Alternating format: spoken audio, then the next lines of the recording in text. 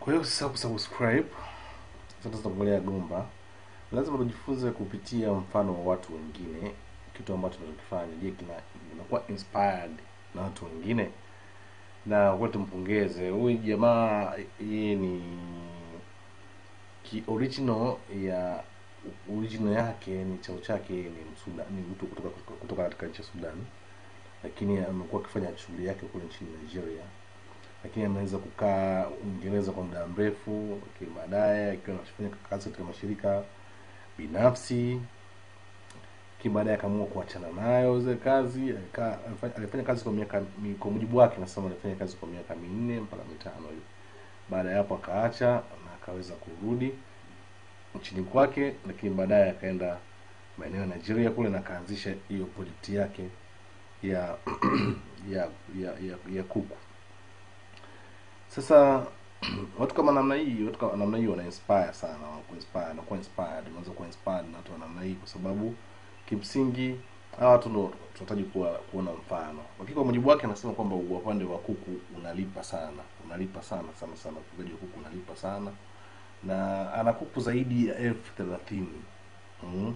ana kuku ni wa kwa ajili ya mayai zaidi ya thelathini, lakini baadaye ana mpango wa mpaka mwaka huu elfu mbili na ishirini na moja unaisha, anategemea kuwa na kuku zaidi ya elfu sitini. Hiyo ni moja kati ya ya ya, ya plani zake, lakini pia anategemea kuweza kuwa na eh, kuanzisha eh, kwa maana ya kuwa na na na anazalisha pia broiler kuku kwa ajili ya nyama, kuku kwa ajili ya mayai eh.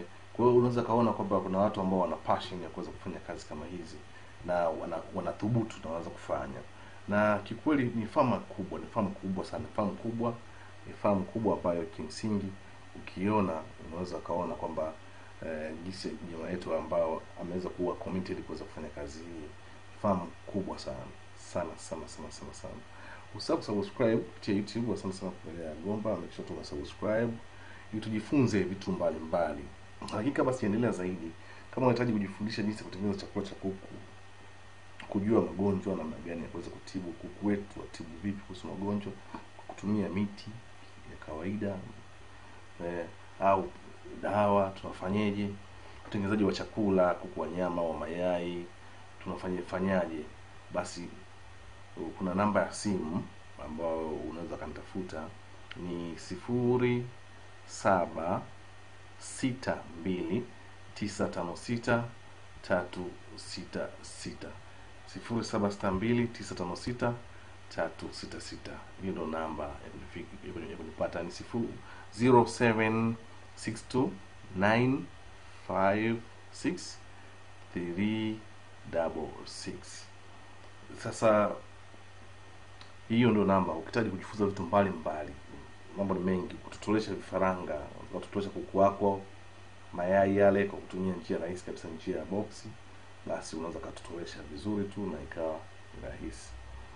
Kwa hiyo ukajipatia kuku wako kama hauna uwezo kununua mashine tukafundishana wakati tuki- tuki- tukiona kwa wenzetu ambao inspire kuweza kufanya kazi hizi na watu wamefanya kazi cause ni kazi nzuri na tuna appreciate we appreciate kwa kweli na pia somebody ambaye amemake videos tena ame amake appreciation kwamba yes iko very serious kwa kuweza kutupatia watu kama namna hii tunaweza tukawaona.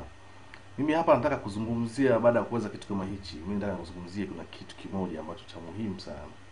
Ukiachana na mafanikio na mabanda nimesema na mabanda zaidi ya manne ma, ma, ma, ma, na mengine anatengenezwa na anategemea kuweza kuwa na projekti zake kuweza kufanya kuwa na wanyama, wanyama pia kuwa anazalisha pia. Na ana, ana, ana, ana mayai kwa mwaka na aweze eh, kutoa tray zaidi ya elfu sabini kwa mwaka kwa hiyo na bado amesema mahitaji ni makubwa zaidi watu wanahitaji zaidi. Hiyo sitaki kuzungumza sana sana sana sitazungumzia sana kuhusu huko.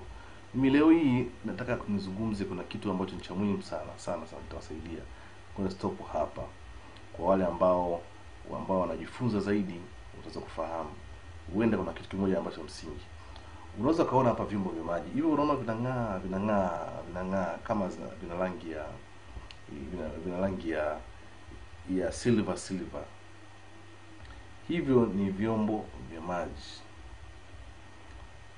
Kwa kawaida katika baadhi ya farm zingine nyingine au au poetry poetry farm zingine ama katika maeneo maeneo kadhaa vyombo vya kulishia maji vya kunyweshia maji pia huwa vinakuwepo vina rangi nyekundu. Wengi sana huwa wanatumia rangi nyekundu nyekundu nyekundu nyekundu nyekundu. Lakini pia mwenzetu kaamua kutengeneza rangi ya gold kaweka rangi ile ya gold. Sasa hizi rangi huwa zina maana yake katika vyombo aidha vya kuleshia au vyombo vya kunyweshea chakula. Unapaswa kujua mtazamaji wa Yagomba hivyo vyombo kuwekwa rangi nyekundu ama hii njano huwa kuna maana yake. Kuku huwa anapenda kuna mvuto fulani ana- anaupataga huwa anaupata. Anapokuwa akiangalia rangi lakini pia rangi ambayo inayokuwa inaonekana inamlazimu yeye kuweza kutambua kwamba chombo kile chombo cha chakula au maji.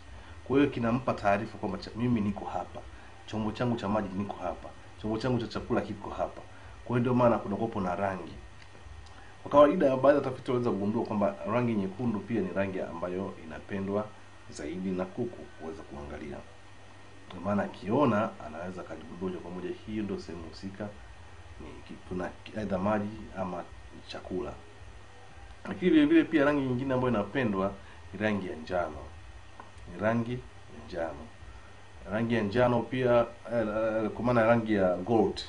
Ni rangi ya gold ni rangi ambazo kweli kuku pia akiona huwa ni rangi ambazo zinamvutia na anapenda kuweza kusogea maeneo yale kuweza kuona. Sasa anaposogea ndio anakutana hiyo kuna chakula anaposogea anakutana kuna maji. Uh, hiyo ni rangi ambazo kimsingi viumbe hawa huwa wanapenda.